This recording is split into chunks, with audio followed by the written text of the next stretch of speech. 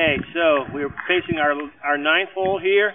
You can see, it's a par four, pretty straight ahead, but we've got big tree on the right. We're gonna have to hit a cut, play it left to right. So I'm sitting on the right side of the box, and I'm gonna abbreviate my uh, my grip so that it's a little weaker, and I'm gonna try and keep this ball down, left to right.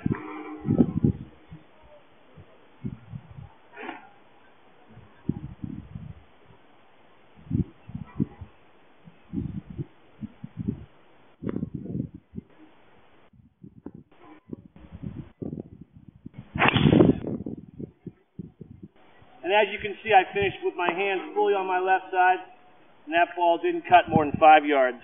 Perfect shot.